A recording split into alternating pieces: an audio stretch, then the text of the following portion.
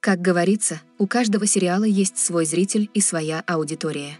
Но авторы данного творения постарались сделать все возможное, чтобы ни один зритель не пожалел о потраченном на этот сериал времени. Получилось ли у них, судить вам.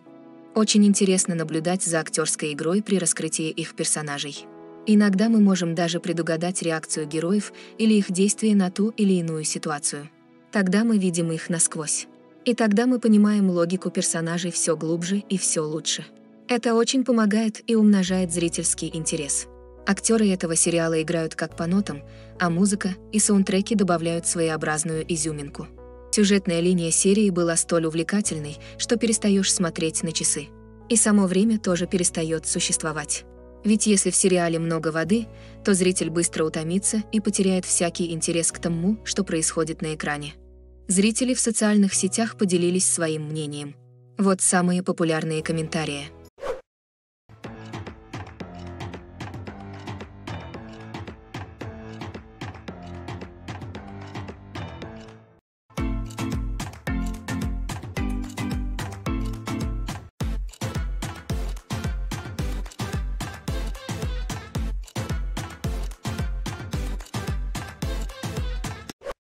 Иногда может показаться, что хороших сериалов уже не осталось. Но это не так. На данный момент появляется очень много достойных и увлекательных проектов. Поэтому предлагаем вашему вниманию обзоры на другие интересные сериалы. Создатели проекта «Реальные пацаны» выпустили новый сериал. Но это не только комедийный сериал о людях, которые делят одно жилое пространство, но и очень смешная инструкция о том, как быть верным своим мечтам и оставаться собой. Это история об интеллигентном неудачнике, который живет в коммунальной квартире Петербурга. Также он работает так называемым литературным негром у Ольги Бузовой и пишет от ее лица автобиографию. Этот питерский комедийный сериал, рассказывающий историю не только писателя Вении Ольги Бузовой, но и жителей коммунальной квартиры. Провинциальной учительницы танцев, по ошибке ставшей стриптизершей, дилера, завязавшего с криминальным прошлым, и суррогатной матери, которая вынашивает ребенка за деньги. В первой серии от такой работы наш главный герой готов залезть в петлю, но его останавливает день рождения дочери. Основные действия сериала происходят в коммуналке, созданной на одной из студий. Квартира вышла настолько достоверной, что во время производственного процесса некоторые работники съемочной группы жили прямо в ней. Работа над сериалом шла 4 года. Три года велась работа над сценариями и поиском главного героя. Еще один год продолжались съемки и монтаж. Изначально сериал назывался «Бисер». В процессе работы над сериалом его создатели нашли в сюжете и атмосфере фильма некоторые ассоциации с творчеством Достоевского и решили переименовать сериал в «Бедные люди». В целом сериал получил положительные отзывы. «Бедные люди» — единственный российский сериал, попавший в список лучших сериалов 2016 года по версии журнала «Афиша». Певица Ольга Бузова рассказала подробности о проекте. «Да, мне было сложно. Некоторые сцены приходилось переснимать по несколько раз. Ведь я именно играла Ольгу Бузову. В комедии должен быть юмор и гротеск, поэтому многие черты моего характера были утрированы. Я как человек и как личность отличаюсь от той Ольги Бузовой, которая предстанет перед телезрителями в сериале.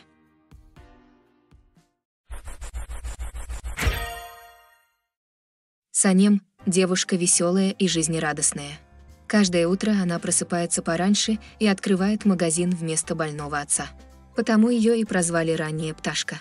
Девушка вынуждена искать хорошую работу, иначе ее выдадут замуж за друга детства. В конце концов, Санем устраивается в издательство, где работает ее сестра. Здесь и начинаются ее приключения. В первой серии Санем утром проводит несколько часов в бакалее своего отца. После проводит свой день, мечтая и работая над книгой. Она очень довольна своей жизнью. Пока родители не скажут, что если она не найдет должной работы, она должна выйти замуж. Теперь Санем придется начать работать в офисе вместе со своей сестрой. Она еще не знает, что там ее ждет большая любовь, о которой она мечтала. Санем очень хочет стать писательницей и живет на Галапагосских островах. У Азиза, владельца рекламного агентства, двое сыновей Эмре и Джан. Эмре хочет взять на себя управление бизнесом, но его отец считает Джана более подходящим для этой работы. В итоге отец назначает его управляющим агентства. Но Джан предпочитает быть фотографом в отдаленных уголках мира.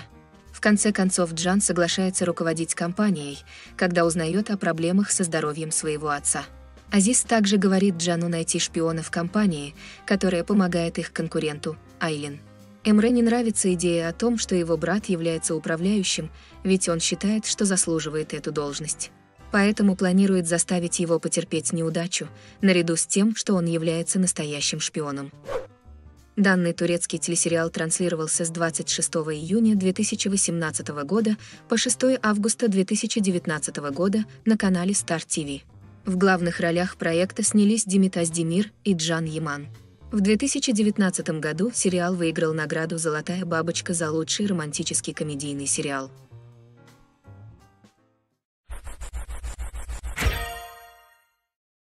Вторая половина 15 века. Москва. Последние правители Византии палеологии бежали в Рим. После смерти первой жены князь московский Иван III получает предложение послов из Рима жениться на юной византийской принцессе в изгнании по имени Зоя Палеолог. Иван III отправляет в Рим доверенного воеводу Хромова и своего нанятого монетного мастера, итальянца Фрея. В первой серии послы привозят Зою из Рима в Москву, где при повторном крещении она принимает новое имя – Софья. Однако, став великой княгиней Московской Софьей, Зоя Палеолог не оправдала надежд Папы Римского по расширению влияния католической церкви на Руси. Попытки посылать эмиссаров с целью убедить Софью следовать линии Рима, а в дальнейшем – убить ее, заканчиваются провалом. В сериале показаны наиболее яркие моменты правления Ивана III, война с Новгородской республикой, ссора и дальнейшие перемирия с братьями Борисом Володским и Андреем Большим. Также показан выход из-под власти Золотой Орды и противостояние между Софией и Еленой Волошанкой, которая является женой старшего сына Ивана III. Съемки сериала начались в ноябре 2014 года и проходили как за границей, так и в России. Для съемок на территории ВДНХ была выстроена декорация Московского Кремля, соответствующая его историческому облику XV века. Тогда он был белого цвета, вместо привычного для нас красного. Специально для фильма реквизиторы нашли антикварную посуду и утварь того времени. Для проекта было сшито более тысячи костюмов. Тысячи россиян посетили выставку о создании этого телепроекта. К съемкам сериала были привлечены консультанты и эксперты. В телевизионном фильме с высочайшей точностью воспроизведены костюмы и предметы быта эпохи. Также телезрители увидят сцены сражений и природных катаклизмов, тайны и интриги средневекового великокняжеского двора, любовь и ревность, колдовство и покаяние. Перед художниками по костюмам в фильме стояла очень сложная, но невероятно интересная задача. Одеть весь великокняжеский двор Москвы XV века. И абсолютно каждый костюм должен смотреться художественно ярким, выразительным, ведь это одна из главных составляющих образа.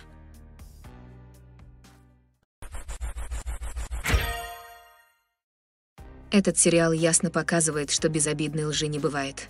Рано или поздно даже самая тайная мысль – оказывается в реальности настоящего времени. Создатели проекта предлагают зрителям представить ситуацию, когда такая реальность материальна и действительно существует.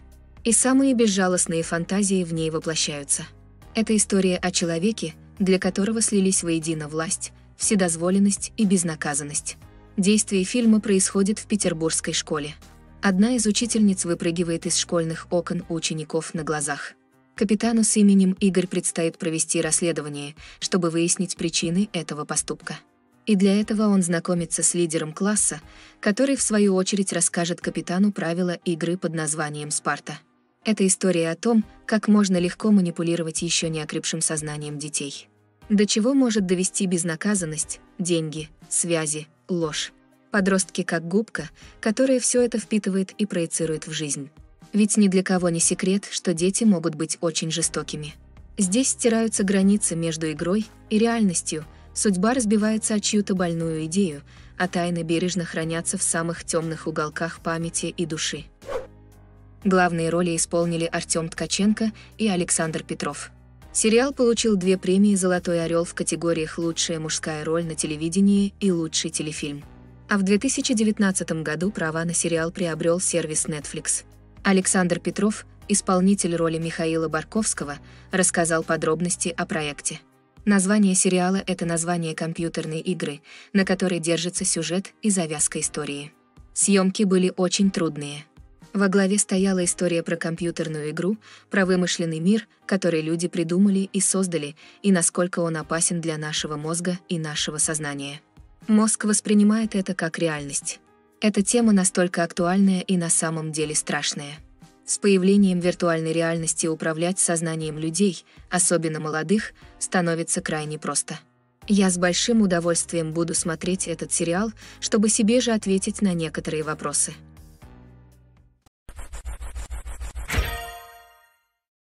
В первом эпизоде Майкл, Кузя и Антон переезжают в новую студенческую общагу. Их селят в блок к девушкам Кристине, Яне и Маше. Кузя сразу же положил глаз на Машу – Майкл пытается вспомнить, где он познакомился с Яной.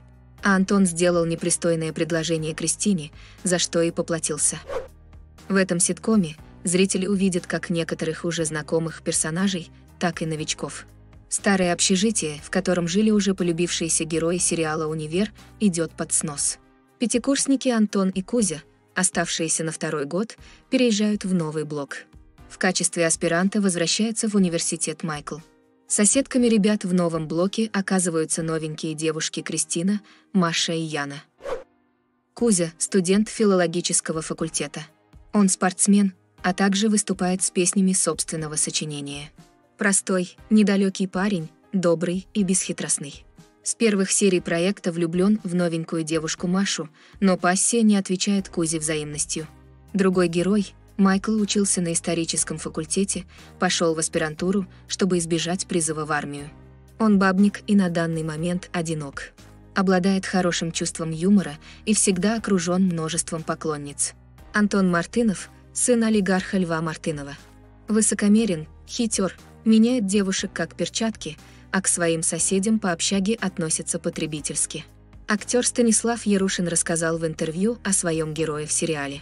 Отец оставил его на второй год, так как не поверил, что сын написал диплом сам. Антон привык к ребятам.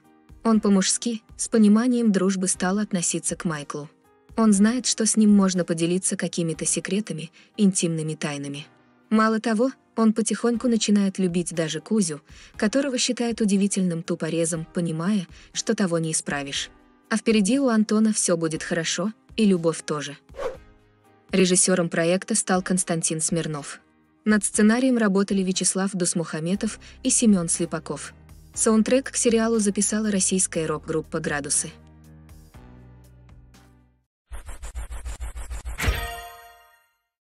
Чтобы обрушить акции телеканала, Совет директоров принимает решение посадить в кресло генерального директора неловкого работника автозаправки и доверить ему съемки сериала. В короткие сроки горе-начальнику удается создать хаос в эфире и установить свои порядки в медиабизнесе. Но неожиданно сериал, который по плану должен был стать величайшим провалом, начинает иметь грандиозный успех. В первом эпизоде создатели телеканала Олег Терехин, Андрей Симонов и Семен Вельман решают снизить рейтинги канала для того, чтобы выкупить долю инвесторов – Именно для этого они договариваются пригласить нового генерального директора, который будет создавать отвратительные шоу и сериалы. В итоге Симонов находит подходящего на эту должность человека из народа, когда приезжает на автозаправку. Автор сериала Илья Куликов известен по таким проектам, как «Полицейский с Рублевки», «Проклятие спящих». В сериале с оригинальным названием Илья Куликов выступил не только в качестве режиссера, но и как сценарист и продюсер проекта. Сам сериал создатели называют злой комедией. Главную роль в многосерийном телефильме сыграл Сергей Бурунов. Практически со всеми актерами, приглашенными в проект, его создатель Илья Куликов работал ранее. Для исполнения небольшой роли также появился телеведущий Дмитрий Шепелев. О данном проекте, откровенной истории о телевидении и о том, что скрыто от глаз зрителя, было объявлено в апреле 2018 года. Съемки сериала стартовали в ноябре того же года. Сергей Бурунов рассказал подробности о сериале. То, что сегодня, бывает твориться на телеэкранах, периодически сильно меня как зрителя расстраивает. Словно две непересекающиеся вселенные. Новые отличные сериалы, даже можно сказать многосерийные фильмы, которые выходят в интернете. И тележвачки некоторых каналов. Мы с режиссером Куликовым взяли на себя задачу сделать и показать сериал об идеальном сериале. Такая вот иголка смерти для пошлости на ТВ в яйце юмора.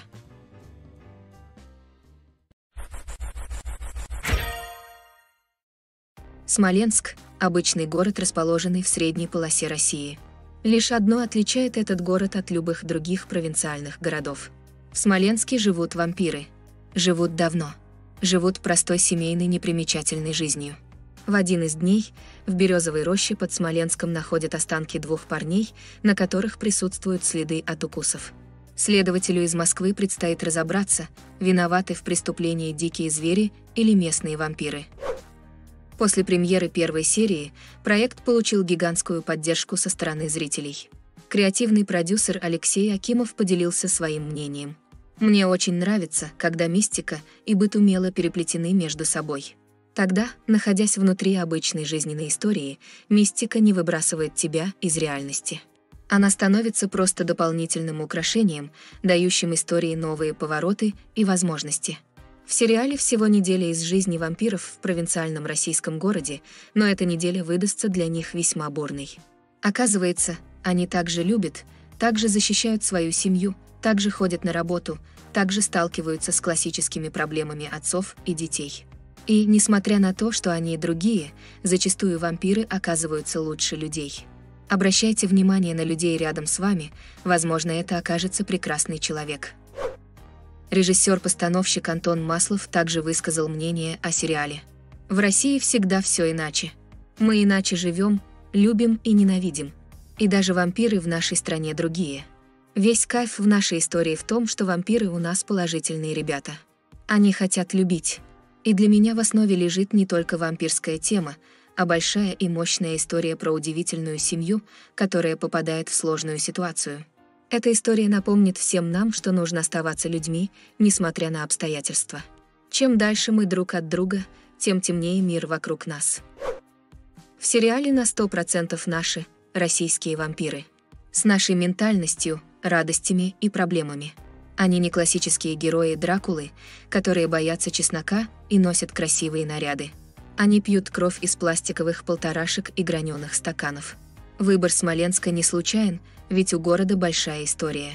Его брали немцы, французы и старались даже татары. У нас будет много исторических флешбеков, пояснил Антон Маслов.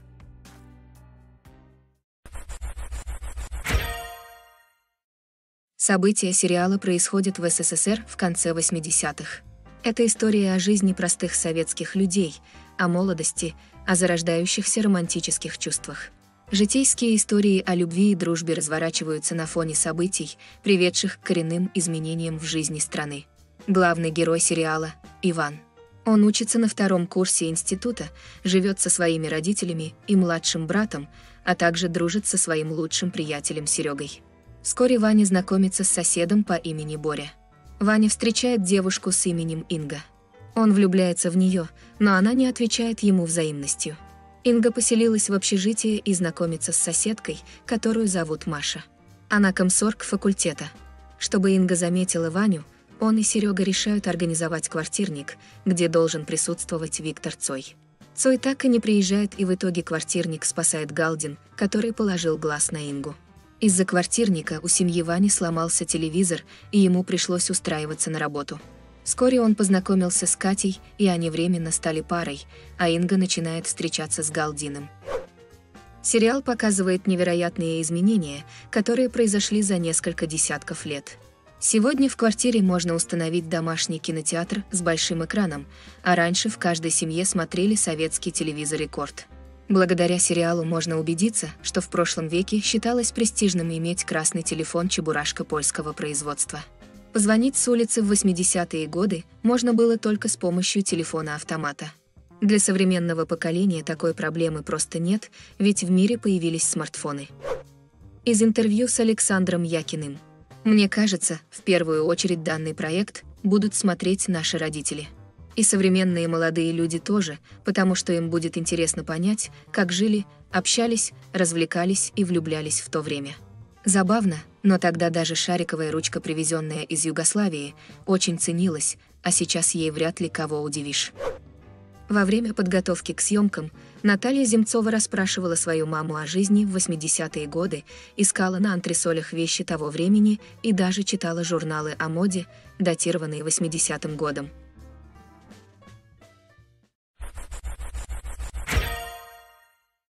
Молодой и талантливый врач по имени Аркадий вернулся из Соединенных Штатов в Россию, чтобы начать работать в одной из клиник Москвы.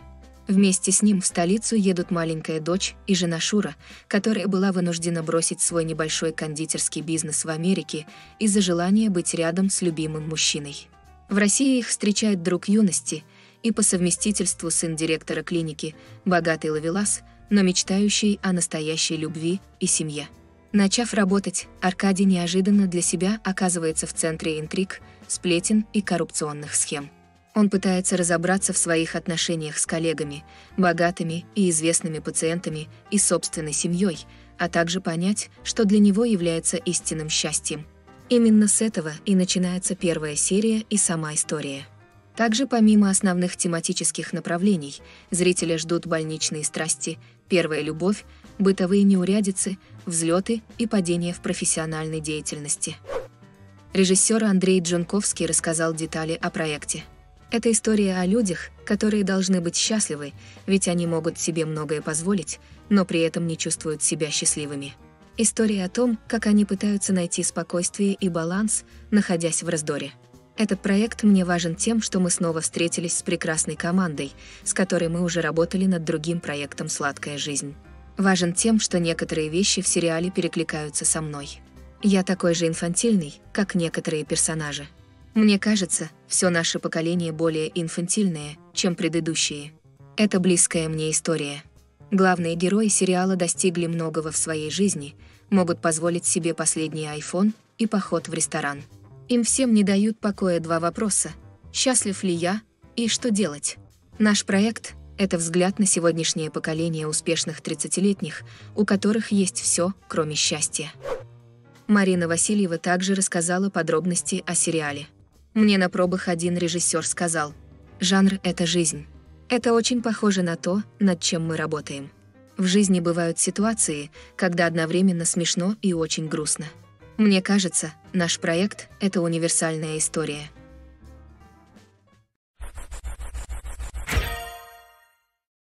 Середине 1990-х криминальный авторитет Витя Мясник внушал страх коммерсантам и конкурентам по опасному бизнесу. Но сейчас Виктор завязал с криминалом и держит экоферму, где ухаживает за любимым быком по кличке Братан. Неожиданно к нему обращается авторитет Артур, один из бывших сообщников Виктора. Обращается он с просьбой передержать на банковском счете Вити воровской общак. Виктор соглашается, но в день возврата, после падения на голову подковы, висевшей на воротах фермы, он забывает пароль от счета. Комедия повествует об удивительном путешествии бандита, которое он совершает во времени.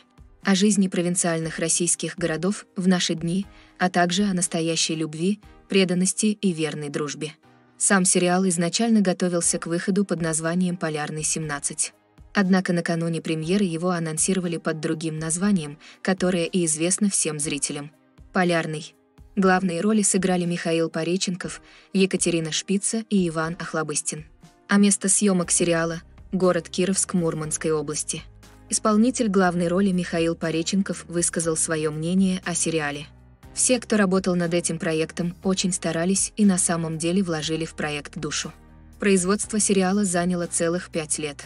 Мы писали и переписывали сценарий, переснимали какие-то сцены, снова и снова отправлялись в длительные киноэкспедиции в Мурманскую область.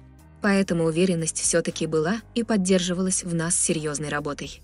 Пусть не на 100%, но на 90% мы точно верили, что сериал понравится зрителю. Съемки сериала были полностью завершены к осени 2018 года. Первая серия была представлена 25 октября 2018 года в Московском кинотеатре «Октябрь». По словам создателей многосерийного фильма, сериал завоевал большую популярность среди самой широкой аудитории, его смотрели как молодые телезрители, так и те, кто не просто слышал о 90-х, но и жил в них.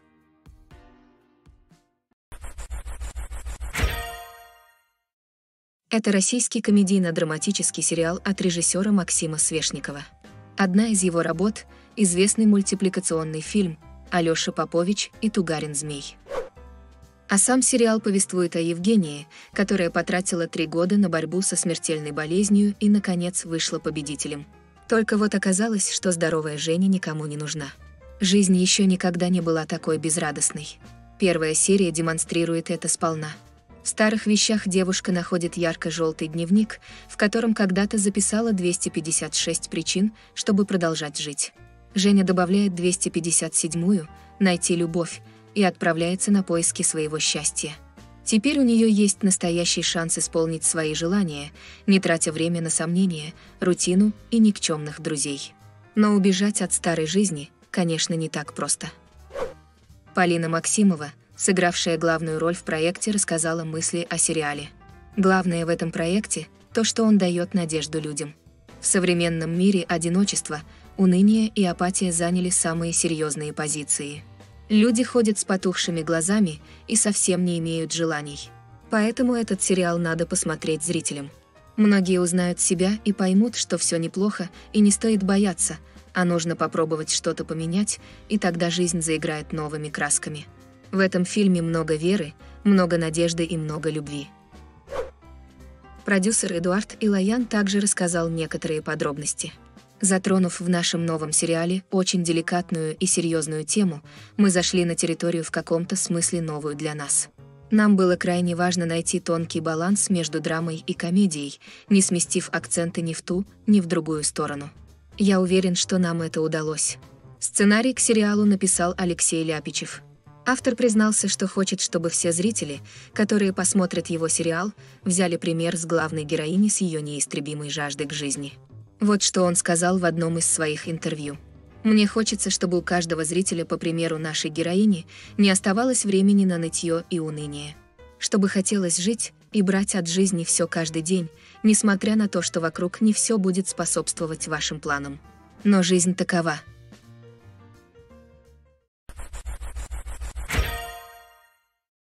Родион – загадочная и неординарная личность. Он следователь высочайшего уровня, который раскрывает самые сложные убийства.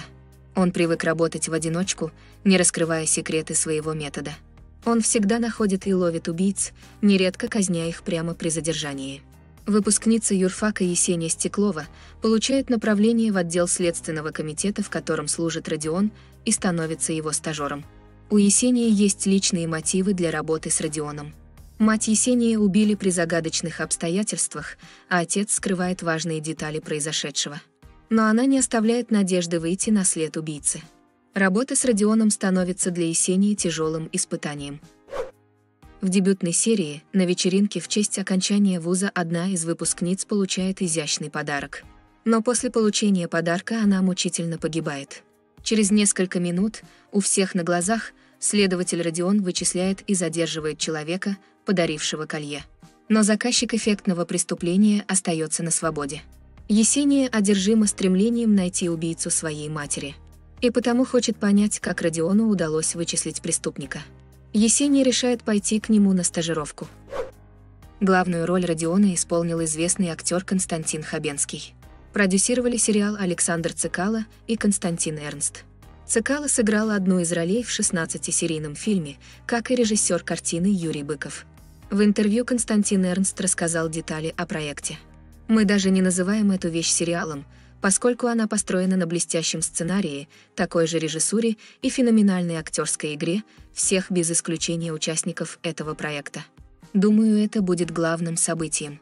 Он не будет выходить стандартно после программы «Время», как это традиционно проходит у нас с премьерами многосерийных фильмах.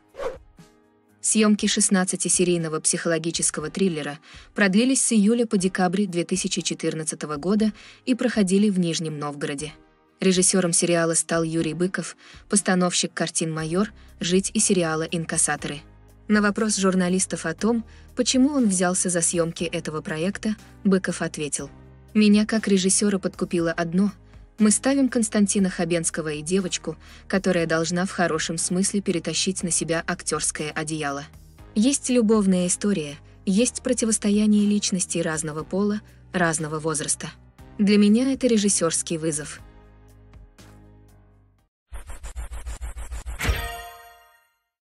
В дебютной серии рассказывается история про трех лучших подруг – Шуру, Юлю и Аню. Им по 18 лет, все самое важное в жизни происходит у них в первый раз, и они подходят ко всему с юношеским рвением. Шура Ермакова влюбляется в преподавателя и в тот же день узнает, что в ее семью вернулась мама, которая бросила ее в детстве. Юля никак не может разорвать отношения со своим парнем-полицейским, который ей постоянно изменяет. А Аня, используя связи своего папы-продюсера, раз в неделю придумывает себе новую карьеру. Сериал рассказывает о многом. О дружбе, о взрослении, о любви, о влюбленности, о поиске себя, о разнице между мудрыми детьми и потребителями взрослыми. О предательстве, о прощении и, наконец, о вечной и нерешаемой проблеме отцов и детей и жизненных ситуациях, которые требуют трудных решений. Слишком много важных и сложных тем для восьми серий. Сериал несет зрителю очень правильную мысль. Нельзя растрачивать себя на пустые отношения, а если нашел свою любовь, нужно держаться за нее изо всех сил. На примере Шуры становится ясно, как легко спутать любовь с детской влюбленностью.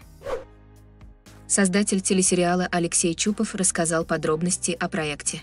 Продюсеры придумали название «Кризис нежного возраста», что в принципе отражает сюжет. Это о волнениях, переживаниях девочек, которые переходят во взрослую жизнь. Они только начали жить взрослой жизнью, но еще не стали взрослыми до конца. Это про весну жизни. Весна со всеми вытекающими последствиями. Мы не упрощаем проблемы, которые появляются, когда ты оторвался от родителей и входишь во взрослую жизнь. Мы не пытаемся одеть розовые очки на героинь или зрителя, чтобы показать, что все прекрасно. Мы показываем, что даже когда у тебя происходят какие-то неприятности, это не повод страдать. Мы говорим о том, что на самом деле все равно ты остаешься молодым человеком, у которого все впереди.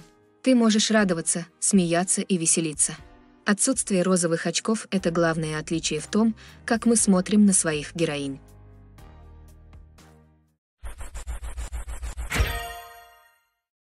Хайт родилась в небольшом провинциальном городке. Вместе с двумя своими подругами она переезжает в столицу. Другой главный герой по имени Мурат – красавец и богатый наследник. Их первая встреча была наполнена ненавистью, однако через некоторое время между ними вспыхнуло настоящее чувство. Молодые люди отчаянно полюбили друг друга. Но смогут ли они пронести свою любовь через многочисленные трудности и испытания – Премьера турецкого романтического сериала с элементами комедии состоялась 15 июня 2016 года. В главных ролях Бурак Денис в роли Мурата Сарсылмаза и Ханде Эрчил в роли Хейта Узуна. Действие происходит в Стамбуле и следует роману на рабочем месте в многонациональной модной компании «Сарти». Сериал транслировался более чем в 30 странах мира и собрал миллионы просмотров на YouTube. Хаят Узун – уроженка деревни Гересун и дочь рыбака. В первых сериях проекта она вынуждена искать работу в Стамбуле, иначе ей придется вернуться к своей семье в деревню. Если это случится, то ее строгий консервативный отец заставит вступить ее в брак по расчету. В настоящее время она живет со своими лучшими подругами, а их мать навещает их. В случае ошибочной идентификации она получает работу в международной текстильной компании Сарти в качестве личного помощника Мурата Сарсылмаза, главы этой самой компании. Мурата тянет к Хаят. Это вызывает зависть у бывшей девушки Мурата, Дидьем, ведущей модели компании. Дидьем вызывает недоразумения, которые заставляют Мурата оттолкнуть Хаят, но затем он преследует ее и приносит извинения. В конечном итоге Дидьем была уволена за ее заговоры. Личный шофер и лучший друг Мурата, Керим влюбляется в Ипек, и позже она отвечает на его авансы. Мурат приводит Хаят к себе домой, чтобы оправиться от панической атаки, вызванной Дидимом. Они сблизились на выходных, но затем прибывает Дидьем, утверждая, что беременна. Мурат рассердился, но принимает на себя обязанность жениться на Дидеме ради ребенка. Обе семьи встречаются и решают свою свадьбу. Мурат разъясняет им, что брак – это всего лишь формальность, чтобы узаконить ребенка. Мачеха Мурата, Деря, также узнает правду и помогает Дидему инсценировать выкидыш до того, как ее правда будет раскрыта, что освобождает Мурата от предполагаемой ответственности.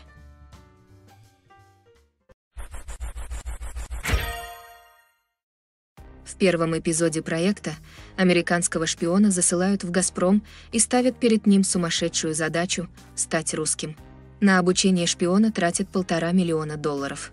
Под видом русского инженера Олега Меньшова он внедряется в региональное подразделение крупной российской компании в городе Ноябрьск, чтобы получить секретную информацию о новейшей разработке российских ученых в области добычи газа.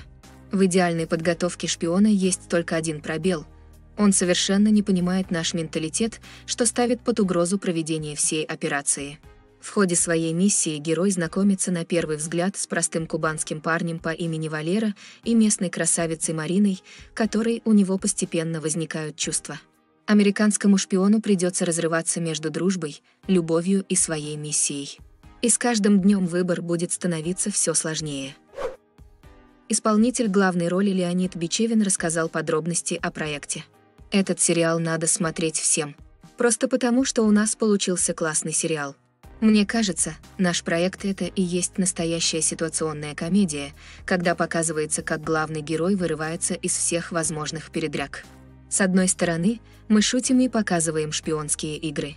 А с другой — наша история про любовь, дружбу, предательство, долг.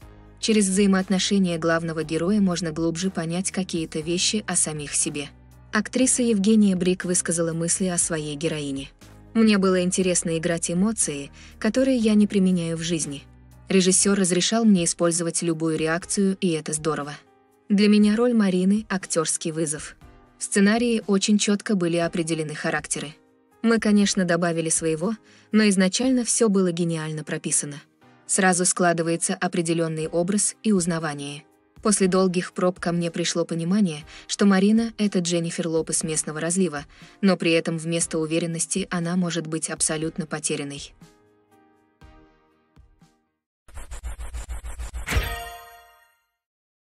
История мира после апокалипсиса, в котором осталось очень мало людей, сумевших выжить после падения цивилизации. Все они заражены странным вирусом, который поражает участок мозга, отвечающий за сон. Только вмешательство извне вытаскивает людей из сна, который через несколько часов переходит в смерть. Казалось бы, общая беда должна объединить всех оставшихся в живых, но люди больше не доверяют друг другу.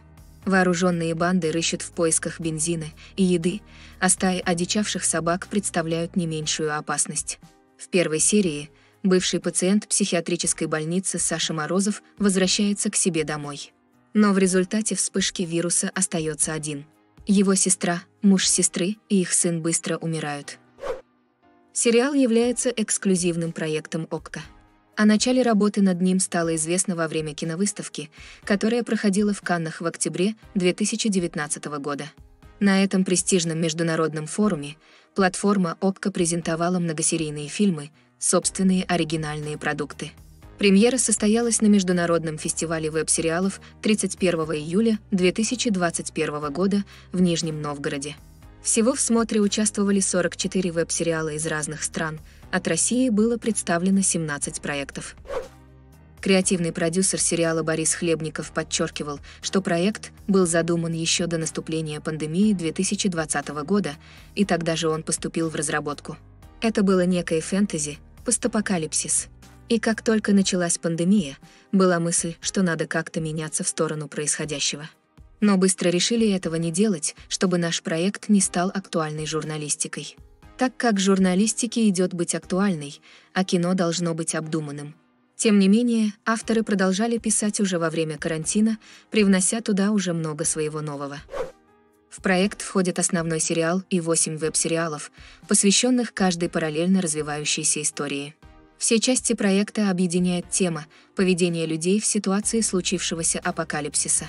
Линии героев всех историй периодически пересекаются, и персонажи влияют друг на друга. Объединяются на своем пути или, повстречавшись, продолжают путь поодиночке. Дополнительные веб-сериалы нужны, по словам директора по контенту ОПКО Макара Кожухова, чтобы раскрыть героев и придать истории объема. Он также отметил, что идея проекта возникла задолго до пандемии.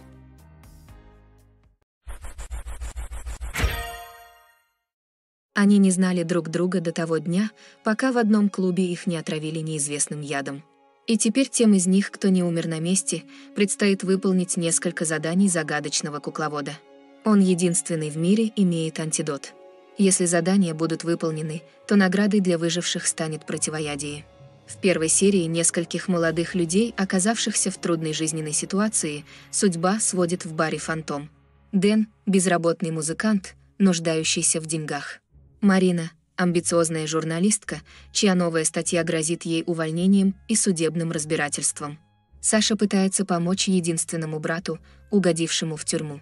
Славе необходимо скрыться после неудачного взлома базы данных. Хмурый, бывший сотрудник спецслужб, решает немного подзаработать. А Грег оказывается не в том месте и не в то время. Как только клуб заполняется посетителями, происходит нечто странное. В борьбе за свои жизни они должны будут получить ответы на главные вопросы, кто организовал смертельный квест и почему для его прохождения были отобраны именно они. «Пройти, чтобы выжить» является слоганом сериала. А премьера состоялась 26 октября 2015 года. Съемки сериала стартовали 24 апреля 2014 года в Риге. Режиссера Андрея Загидулина создатели пригласили на проект, увидев в интернете его короткометражный фильм «Наблюдатель». Ему устроили череду проверок, он делал наброски кадров сериала, снимал тизер, доказывал, что умеет работать с группой, а также прошел процесс согласования своей кандидатуры с телеканалом СТС. И только после этого с ним был подписан договор. Специально для сериала несколько художников вручную сделали часть артефактов, медную шкатулку с секретом, металлический шар, шифровальную машинку, шприц. В процессе съемок было задействовано более 150 локаций в столице Латвии и ее окрестностях. Длинные волосы у героя Павла Прилучного были выбраны для того, чтобы подчеркнуть творческую профессию его героя Дэна. Согласно сюжету, он музыкант и диджей. Латышских актеров в сериале озвучил известный переводчик эпохи видеокассет Андрей Гаврилов. Сам сериал был впервые анонсирован в 2013 году.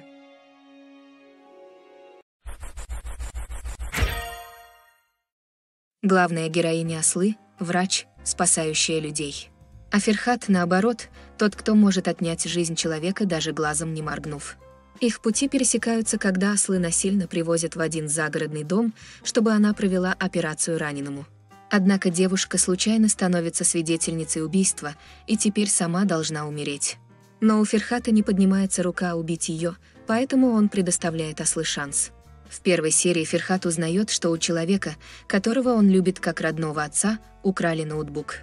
Если информацию, которая находится на ноутбуке, распространят, то это положит конец его политической карьере. Он проиграет выборы на пост мэра, к которым готовился на протяжении многих лет. Ослы вынуждают оперировать раненого человека. Она думает, что спасет человека и сможет спокойно уйти из поместья. Однако планы пойдут совсем не так, как она ожидала. С того дня жизни Ферхата и ослы пойдут в совершенно другом направлении. Интересные факты. Бирджа Акала, исполнившая главную роль, в 2004 году заняла третье место на конкурсе красоты «Мисс Турция». Персонаж Ибрагима на протяжении всего сериала носит одежду только черного цвета. В одной сцене главная героиня смотрит телевизор, где идет голливудский фильм «Мой парень псих», в котором снялись Дженнифер Лоуренс и Брэдли Купер. Премьера сериала состоялась 16 октября 2017 года. В 2019 году вышла украинская адаптация под названием «На твоей стороне». Режиссером сериала выступил Ясин Услу, известный по таким проектам, как «Наша история», «Любовь на крыльях птицы». Сценарий написали Элем Джан Палат. Его работы «Империя лжи», «Изумрудный феникс», «Дочь посла». А также написанием сценария занималась и Сема Эргеникон. Главную роль сыграла турецкая актриса Бирджа Калай, получившая известность благодаря проектам «Вавилон», «Иногда жизнь прекрасна», «Сумасшедший лесник». Также за работу в проекте была удостоена нескольких национальных наград в номинации «Лучшая актриса».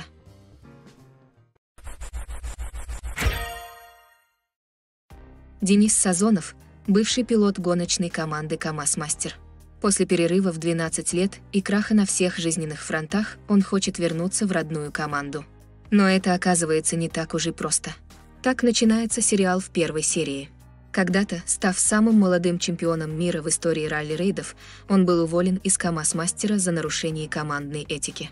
Денис хочет вернуть чувство самоуважения и причастность к большому делу и снова выиграть ралли-рейд. Но в команде его никто не ждет. Заместитель директора команды Еремин не хочет давать ему шанс, ведь считает, что Денис серьезно нарушил командные правила. Сазонов устраивается в команду уборщиком, проходя весь путь в руль с самого начала. Но и здесь его ждет неприятный сюрприз. Он встречает свою бывшую жену, которая планирует занять место штурмана и стать первой женщиной-пилотом в мужском коллективе. Сюжет сериала выдуман, но российский спортивный экипаж КАМАЗ-Мастер — это действующая с 1988 года команда, которая впервые участвовала в гонке в Дакаре в 1990-м, а через 6 лет выиграла ее. Всего с начала основания команда принимала участие в ралли 29 раз и завоевала 17 наград. Съемки картины начались в феврале 2020 года, через 14 дней после ралли в Саудовской Аравии, где экипаж занял первое место. На подготовку к съемкам ушло 5 лет. Сериал снимался в Республике Татарстан, где размещена база команды, а также в Астрахани и области, в Казахстане и в Москве. Проект был создан при поддержке команды и президента Татарстана. Макар Запорожский, который исполнил роль пилота Сергея Беликова, поделился своими впечатлениями о съемках. «Я потрясен. Нас прокатили на настоящих спортивных грузовиках, тех, на которых проходят трассу пилоты. Это восторг. Каждый мальчик и по желанию каждая девочка, все должны это попробовать. Даже находиться здесь очень интересно, познавательно и удивительно. Ходить по цеху, видеть, как люди сами делают эти машины – я даже слов не могу найти из-за того, насколько я потрясен. В детстве все хотели стать космонавтами, а я мечтал проехаться по пустыне на такой машине. Честно говоря, я не знал, что команда называется КамАЗ-мастер, но знал, что ежегодно проводятся эти прекрасные ралли. И еще я знал, что КамАЗ, как и наши синхронистки, могут похвастаться такими же достижениями.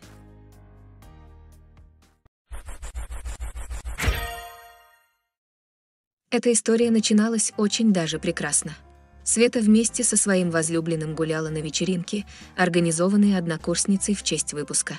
Света и ее парень решили выйти на балкон. В порыве страсти девушка не удержалась и упала с третьего этажа на асфальт.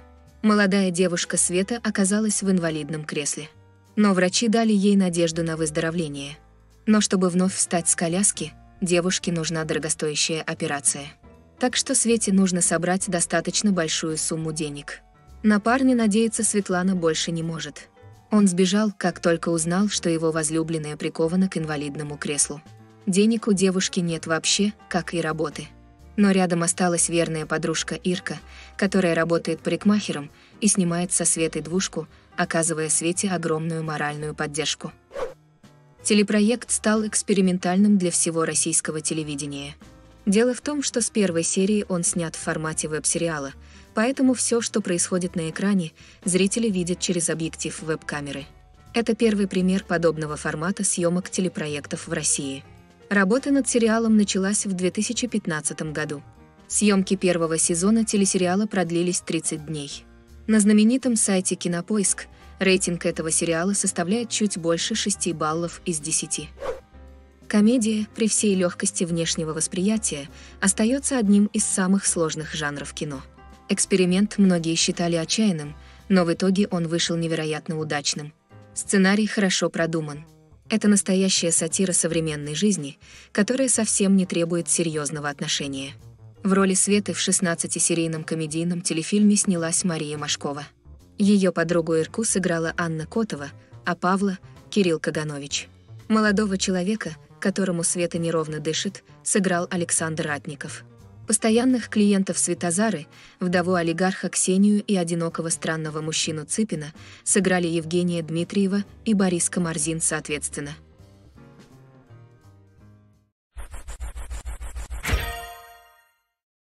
«1970-е годы, СССР.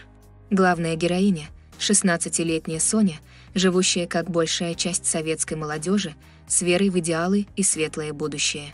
Но внезапно она сталкивается с темной стороной жизни. Она влюбляется в молодого человека по имени Сергей, который знакомит ее с другим законом. Не советским, а воровским. Воровской закон заставляет Сергея предать их с Соней любовь. Этот закон отнимает у Сони отца, губит мать, брата. Сама Соня чудом остается жива. Она спаслась, Но теперь ею движет неукротимое желание истребить этот проклятый воровской закон. И начинает она с Сергея. В первой серии, во время празднования своего дня рождения, на даче погиб директор одной из местных фабрик, Литвинов Павел Петрович. Он отказал людям криминального авторитета немца поднять процент уплаты налога в общак. Через год семья Литвиновых оказывается в бедственном положении, и мать начинает выпивать. Младшая дочь Соня оканчивает школу и мечтает поступить в театральный институт. Чтобы отметить годовщину смерти отца, старший сын Игорь пытается продать фирменный продукт и попадает в КПЗ. Там он знакомится с Сергеем. Когда Соня встречает Игоря, ее видит Сергей. Он очарован девушкой. У них начинается роман. Действие многосерийной криминальной ретродрамы разворачивается в 1970-е годы в СССР. Сам телесериал создан на 8 серий, сценарий к которому написали Валентин Емельянов и Илья Рубинштейн. За режиссуру сериала отвечал Станислав Титаренко, известный телезрителям по проекту «Счастье мое». Главную роль в сериале сыграла актриса Соня Метелица, для которой съемки в этом проекте стали первой столь масштабной работой. Режиссер Станислав Титаренко описал этот сериал так. Криминальная драма с динамично развивающимся сюжетом, от которого будет невозможно оторваться. Но фильм не про месть, а про любовь. А ретро 70-х годов – а динамика сериала и музыкальное сопровождение очень современные.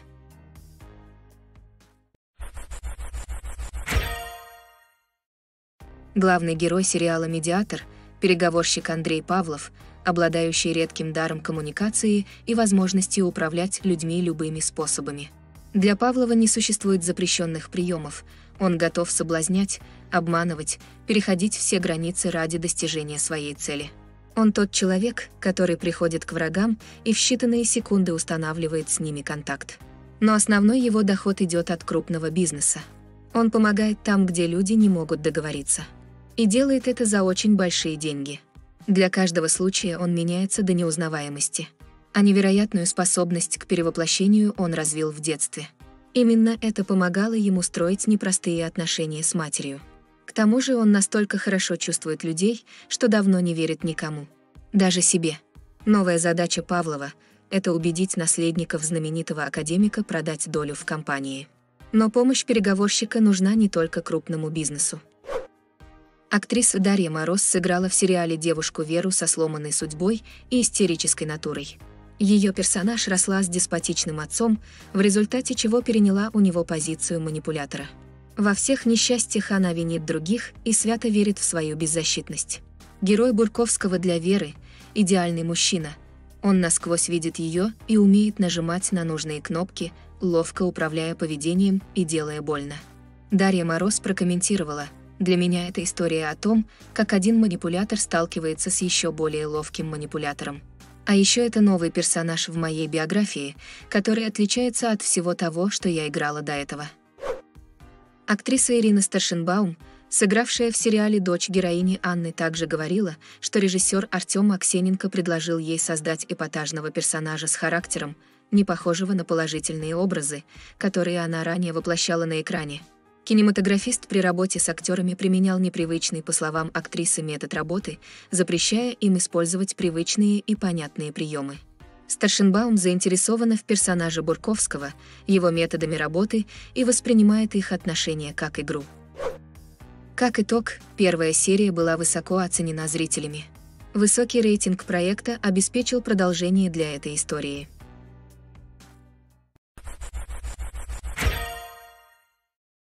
Эта история начиналась очень даже прекрасно. Света вместе со своим возлюбленным гуляла на вечеринке, организованной однокурсницей в честь выпуска. Света и ее парень решили выйти на балкон. В порыве страсти девушка не удержалась и упала с третьего этажа на асфальт. Молодая девушка Света оказалась в инвалидном кресле. Но врачи дали ей надежду на выздоровление. Но чтобы вновь встать с коляски, девушке нужна дорогостоящая операция.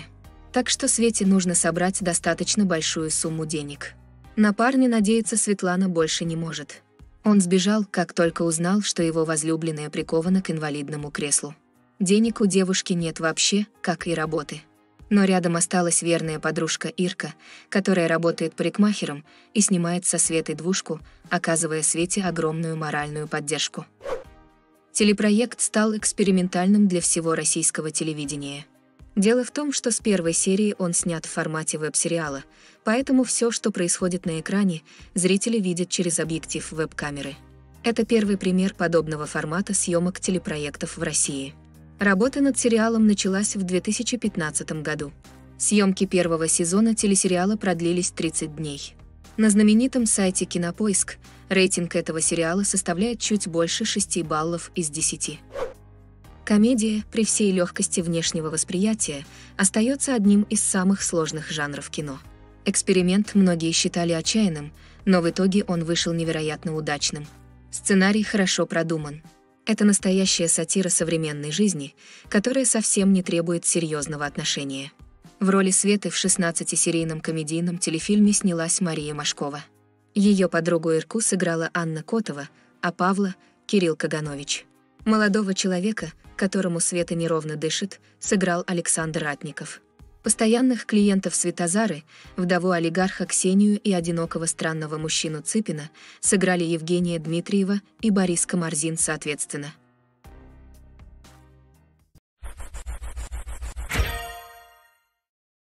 В первой серии показываются события, которые предшествуют проявлению симптомов у пациента – на протяжении эпизода команда врачей пытается определить болезнь, вызывающую эти симптомы. Используется метод дифференциальной диагностики, при этом врач-диагност Рихтер руководит обсуждением диагноза. Его интересуют только самые сложные и запутанные случаи, проще говоря, медицинские головоломки. Рутинная работа в больничной поликлинике навевает на него скуку и раздражает. Рихтер избегает разговоров с пациентами, поскольку твердо уверен, что они лгут. В прошлом Рихтер перенес сложную травму на бедре, инфаркт четырехглавой мышцы. И теперь он ходит, опираясь на трость, и пьет сильные обезболивающие.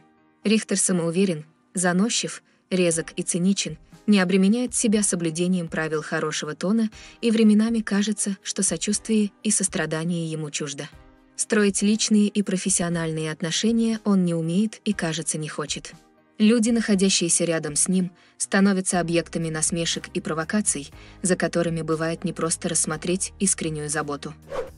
За создание российского «Доктор Хауса» взялся телеканал «Россия-1». Главную роль эксцентричного врача в русской версии сыграет Алексей Серебряков. Режиссер Андрей Прошкин рассказал детали о сериале. Рихтер – циничный, замкнутый и одинокий. С сардоническим чувством юмора, как и «Доктор Хаус». Но, на мой взгляд, он не лишён сострадания. Для него сострадание выражается через действие, а не через общение или похлопывание по плечу. Мы старались сделать персонажей не пустой калькой, а достоверными для нашей действительности. Герои должны оставаться живыми, чтобы за ними было интересно наблюдать. Поэтому какие-то вещи мы оставляем как в оригинале, но меняем детали и интонацию. Первоначально предполагалось, что премьера четвертого сезона сериала выйдет в свет осенью 2020 года. В дальнейшем, однако, было объявлено о переносе сначала на февраль, а потом на октябрь 2021 года.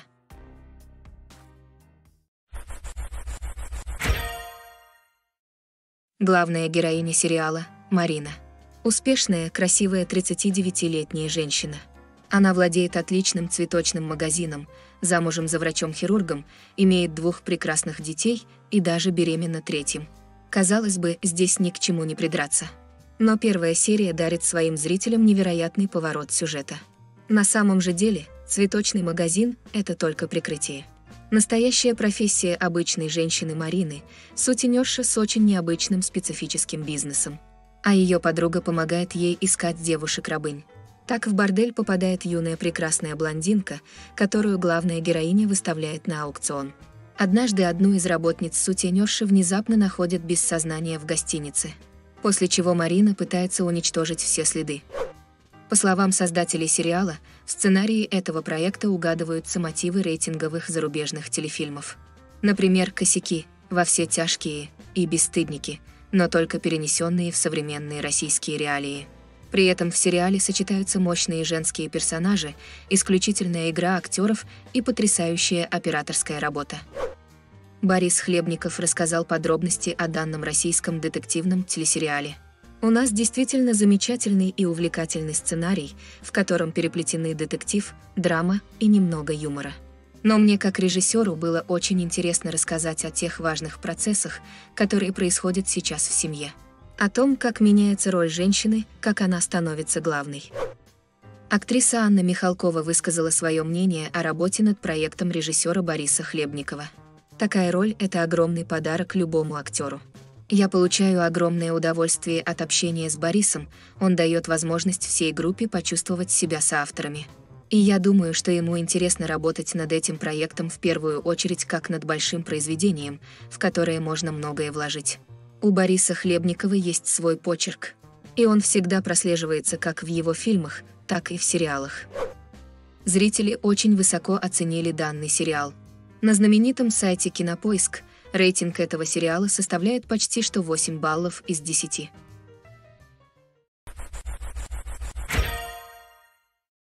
Основная часть событий знаменитого сериала происходит в студенческом общежитии.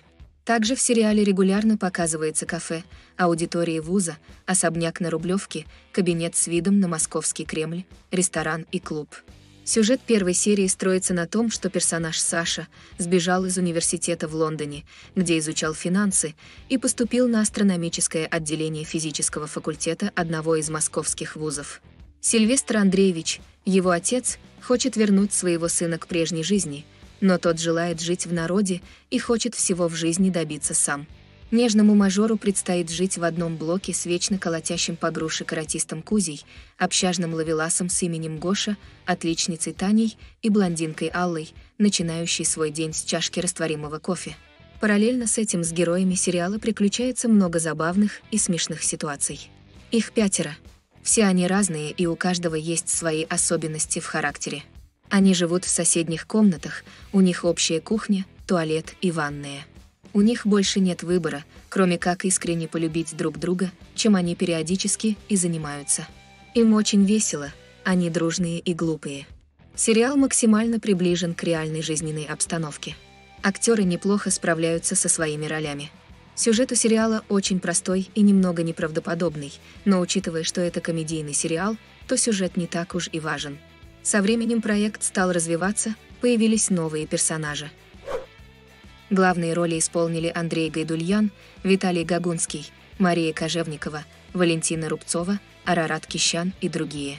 Сценарий был написан Вячеславом Дусмухаметовым, известный по таким работам, как «Папины дочки» и «Шесть кадров», а также Семеном Слепаковым, известный по таким работам, как «КВН», «Камеди Клаб», «Наша Раша» и «Прожектор Пэрис Хилтон». Премьера первой серии состоялась в далеком 2008 году, и сериал моментально завоевал любовь у зрителей. Создатели не стали останавливаться на первом сезоне и выпустили еще несколько. В 2021 году сериал реанимировали. Теперь его новое название «Универ 10 лет спустя».